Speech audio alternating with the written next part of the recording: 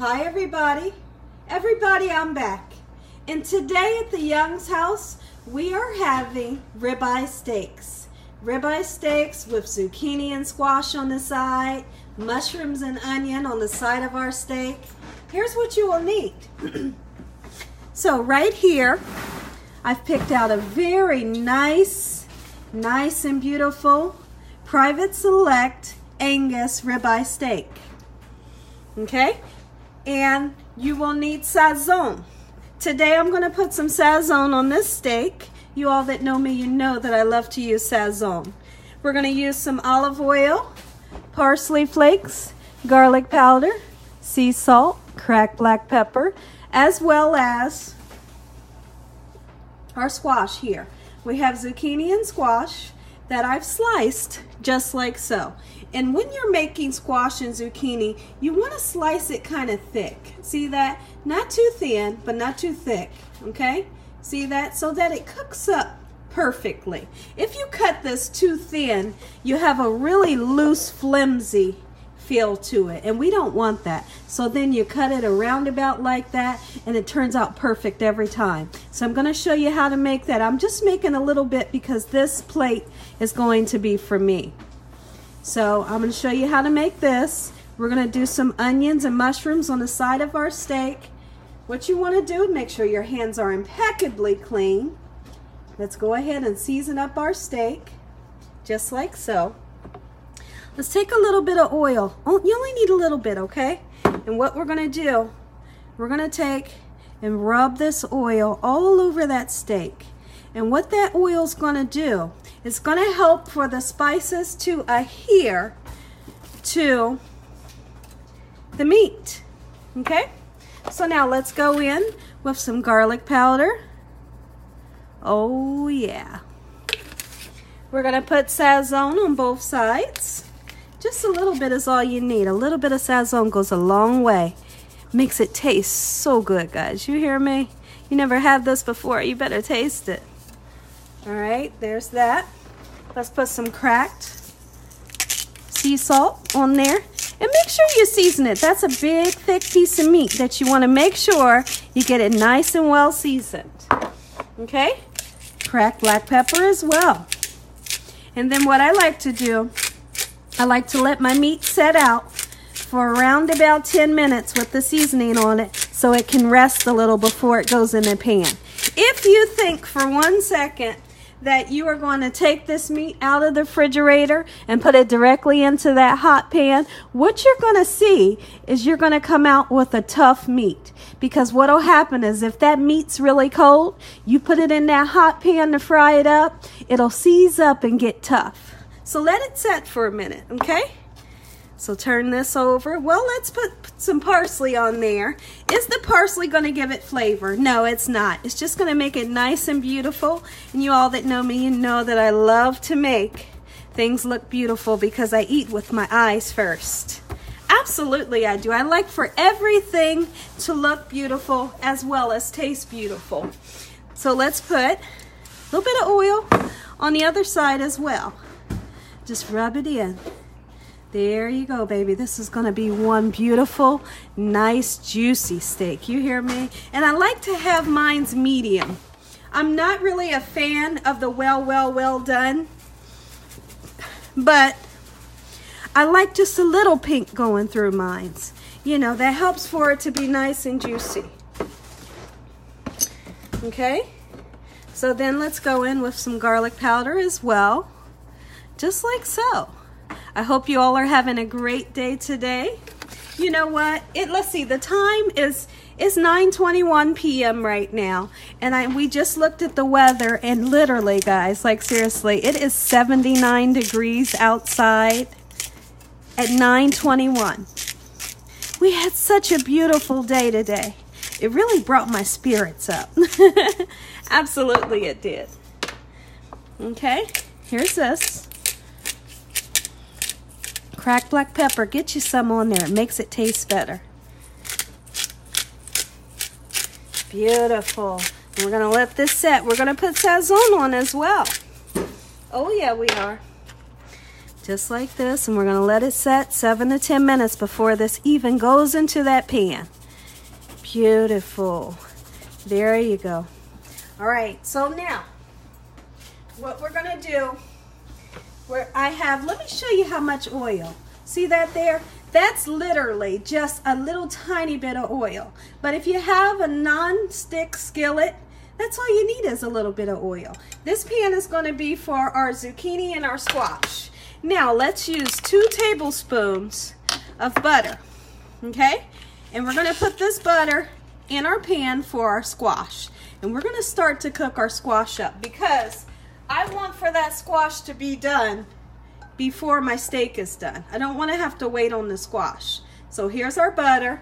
We're gonna melt the butter just like so. And I'm gonna show you how to cook the most perfect squash and zucchini. Someone had told me, they said, Gina, I used to eat squash, or they tried to get me to eat squash and zucchini as a kid, and I didn't like it. Can you show me how to make it um, tasty? Maybe I'll try it again. So here we are. We're in the kitchen, and I'm to make this tasty. I'm to show you how to make this the right way. See that slice? Beautiful slice, nice and thick. Not too thin, not too thick. All right, we're only to do a few pieces. So we'll set that aside. We don't want to put the veggies in the pan until this butter is nice and frothy and bubbly. And I'll show you what I mean when I say frothy, okay? Because the butter will literally start to froth up a little bit. So let's turn our pan on while our seasonings kind of marinate down into that beautiful meat. And then I'll come back. Okay, everyone, you can see how the butter is nice and frothy. That's what you're looking for, okay? And then we're gonna season up these vegetables, but we're not gonna season them just yet, okay? You wanna make sure that they all are on the pan and not on top of each other. Because if they're on top of each other, they won't have a chance to get nice and golden brown. What'll happen is they'll get mushy because they'll steam on top of each other. Okay? So we put them in just like so. And then when we do that first turnover with our spatula, then is when we'll put so all you need for this. All you need for this because the butter is a flavor. This butter is flavor. All you're going to need is salt and pepper. And we're only going to season one side. Okay, so we'll just let this go and then I'll come back. So now, Let's peek in at our beautiful steak that's been marinating. Beautiful. I want to check my pan and make sure that my pan is nice and hot. You cannot put a steak in a cold pan, okay? Our pan is nice and hot. Let's go ahead and get our steak going. Just like so. Let's see, I'm to heat my pan up just a little bit longer. Okay, everyone, our pan is nice and hot. Let's go ahead and put this well-seasoned steak right on in that pan. Oh, beautiful. And you hear that sizzle? You have to have that sizzle. If you don't have that sizzle, your pan's not hot enough. We're gonna let this get nice and golden brown, okay? And we're not gonna turn this. We're not gonna go in with a fork or uh, like a spatula looking at the bottom of it because this steak will indicate when it's time to turn it. What you'll start to see is a beautiful golden brown ring around the bottom and that means give me a turn, okay? Now let's check in at our beautiful vegetables. The vegetables will cook quickly. Let's take a peek in at them. Now this is cooking on a medium heat, okay? They're not quite ready to be turned, but they smell and they look just beautiful. Absolutely they do.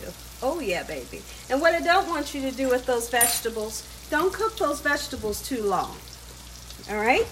And what I'm going to do with these beautiful mushrooms and onions that we have is I'm going to throw the mushrooms and onions in the same pan that we have the steak cooking in after we turn the steak one time. Okay? Be back. Okay, everyone, there's one thing that I want to talk about. If you have a good steak, all you need to season that steak up is salt and pepper. Salt and pepper will do the trick. Okay, I promise you. but only if you have a great steak. And so some of you might say, well, how come you're using the other ingredients? Well, it's just because I love the flavor of Sazon. I love the color that it's going to give my steak. And I also love the flavor of garlic powder. Now, when I'm cooking my steaks on the grill, most of the time I'm only using salt and pepper. Okay? And sometimes when I'm cooking them on the stove as well. Let's take a peek in at our beautiful vegetables that are cooking alongside. Let's take a peek at the bottom of them. Beautiful. I'll turn a couple and then I'll bring the pan close to you so you all can see what it's supposed to look like. Like I said, don't cook these things to death to where they turn into mush. All right? Make them thick enough so that they're not thin. Beautiful. These are absolutely beautiful. Doesn't take any time to cook them. They always turn out perfect. Now's when we're going to go in with some cracked black pepper. Oh yeah. And a little bit of sea salt. A little bit of sea salt is all you need. Because remember, that butter has some salt in it. If you don't want the sea salt, then here's the thing. Don't put any in there. And it's that simple. I'm just using that much, and that's it. That's all you need. Steak is going beautiful. Now, our veggies are cooking on medium, and the steak is on medium high. You don't want to cook your steak on high because the outside will burn and the inside will never get done. Okay? You don't want to cook it on low because it'll just steam. Be back. Okay, everyone, let me show you. My veggies are done. Whoops. Sorry about that, guys. Our veggies are done. This is how they should look. And this is how they should stand on your fork. Just like this, never limp. All right, beautiful. So they're nice and golden brown. You don't want to get them too dark. Take them out the pan now so the cooking process can be over. And now we can focus on our steak. Okay, everybody, let's turn our beautiful steak. Take your time. You don't want any splashing. You don't want any of that oil to splash on you or anyone else around you. See that there? This is what this should look like. Nice and beautiful. My word. Look at this. Oh, yeah, baby. Woo-wee! Now here's the thing. I know, I know that you guys' mouth has to be watering because my mouth is salivating.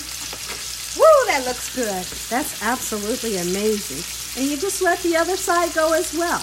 And how I like to judge whether the steak is nice and medium well with me is I take my hand, and everyone's hand will feel the same. If you tighten your hand up and you feel that part right there, that's what a well done steak is supposed to feel like. If you loosen it a little bit, medium well. You loosen it a little bit more, medium, okay? You understand? You get the drift? Rare. Okay, do you understand? So that's what I do. I do. I really do. And when I fill my steak, I say, oh yeah, baby, it's ready. You know, because I've been doing that for so long. Here's what we're going to do. Let's go ahead and put our beautiful veggies in right there. And they'll be done. Oh yeah, they'll be done by the time our steak is done. Sometimes I will use a separate pan, but you don't have to, you know. You got a little bit of oil in that pan. You might as well take advantage of not getting another pan um, dirty. Put it right on in there. It'll give you some extra flavor as well. Meaning that this oil that's coming from the steak going into those vegetables will give those vegetables a nice flavor. Okay, so what I'm going to do, I like to put a little bit of cracked black pepper on my veggies. Oh, yeah. Mm-hmm. A little bit, just a little bit, guys. Sea salt. That's it. That's it. I like to have um, A1 sauce on the side, so I'm to look for my A1 sauce and see where I have it at this moment. Sometimes I think that they hide stuff from me. I'll go looking for something where I think it's supposed to be one place and it's not there. and then I'll search and I'll search and I say, okay, it's here. Someone else moved it. All right, so let me look for my A1 sauce. Okay, everyone, let's take a peek in at our beautiful veggies that are cooking up just perfectly. Because I don't like for my veggies to be too done. I like to have them right alongside of my steak. Sometimes I'll put some on top. That way when I cut down into my steak, I can have a bite of that mushroom and onion. If you're the person that doesn't like mushrooms, because there's so many people out there that don't like mushrooms, you don't have to use them, and it's that simple, okay? Let's feel. Oh, yeah. Mm, we're almost there. Ooh, I just tasted that flavor. It's absolutely amazing. And all of that fat that you see, that they like to call marbling, that's going all through that steak, that marbling will melt down. And it will, and the steak will fry itself in that marbling fat. And it's just beautiful. You hear me? Mm, mm, mm. Woo! I live for the steak fat, guys. I know it sounds weird. I know. I know it's not good for you, but I love something about steak fat, especially when it's nice and crispy and seasoned. Woo, it's good. Oh, yeah. I get myself excited in this kitchen. I do. All right, let's see. Beautiful. I'm going to be taking this steak out in probably about three to four minutes. Okay, everyone, what I've done, I've turned the steak over one more last time. We're going to take this out, make our plate, and I'm going to let you all know what this tastes like. Okay, everyone, you can see that I have the A1 sauce on the side in case you want to dip it. And I always like to have something nice and fresh. I have this beautiful tomato. Okay, let's go ahead and give it a nice slice. I want to put this on the side of my plate with salt and pepper just for a nice fresh pop and also to make it nice and beautiful. Oh yeah. Woo, look at this tomato. Isn't it beautiful? My goodness, that's beautiful. All you need is salt and pepper on that bad boy, right? The salt brings out the flavors of this tomato and the pepper does as well. Look at this. A meal fit for a king or a queen. Make this for your king or make this for your queen and they will absolutely adore it. You hear me? Absolutely they will. May God bless this meal. Lord, we thank you for today. We thank you for your love time, your mercy and understanding, and your blessing. We pray that you send your angels down to surround us day and night. We pray that you send your Holy Spirit to help us make good decisions. And we pray that peace is still over our mind. Devil, you have no authority in our lives. Devil, you have no say so. Devil, you are bound away from our family. Devil, you are bound away from my YouTube family.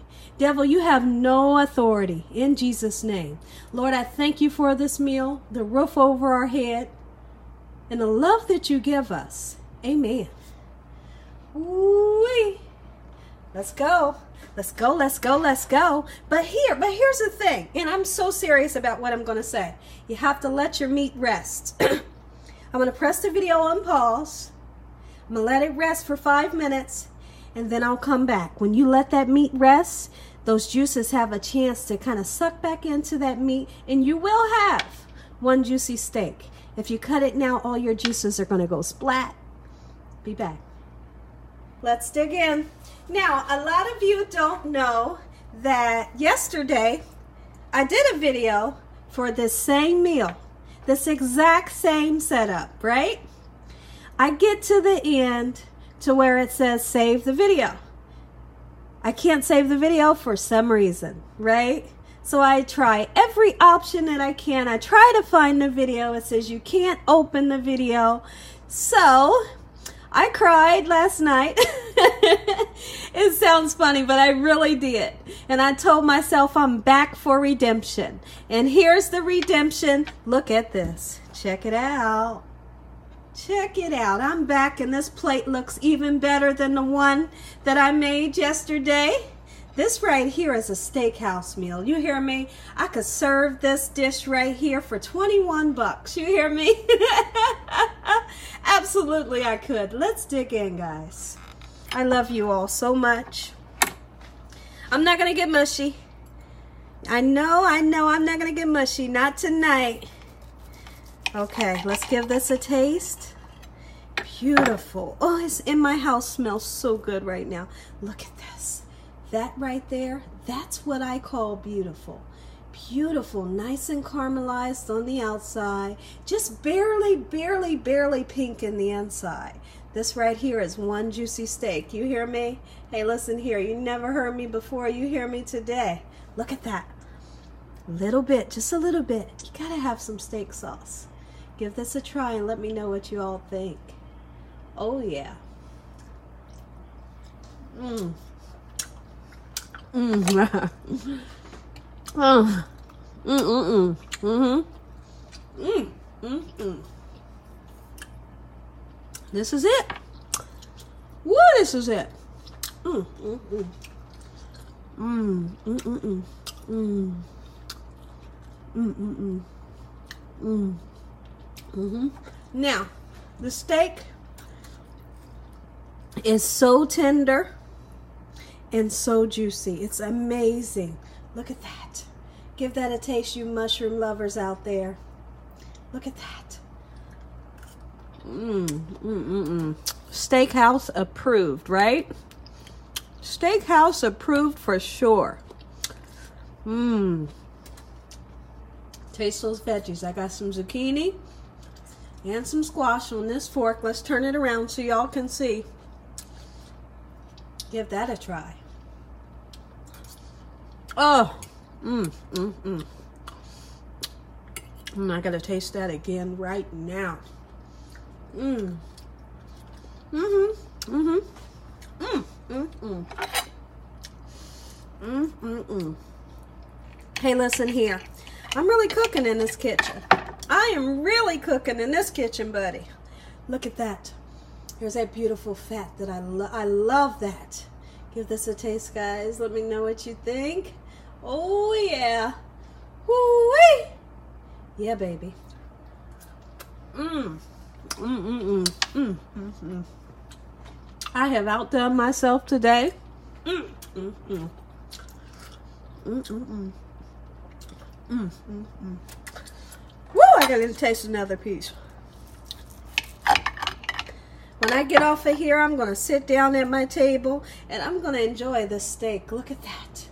Beautiful slices like butter. You hear me? Mmm. Mm-hmm. Mmm, you go, girl. Mm-hmm. Mmm. Mmm, mmm, mmm, mmm, mmm, mmm.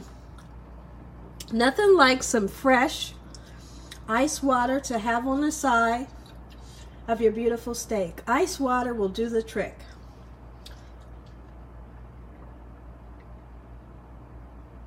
Oh yeah, nothing tastes better than ice water, right? Mmm, mm-hmm. Let's taste that beautifully seasoned tomato. And then I'm gonna get off of here, guys. I got a video to upload. Mmm, mmm, so juicy. I love you guys. Have a great night. Thank you all for watching. Until tomorrow, good night.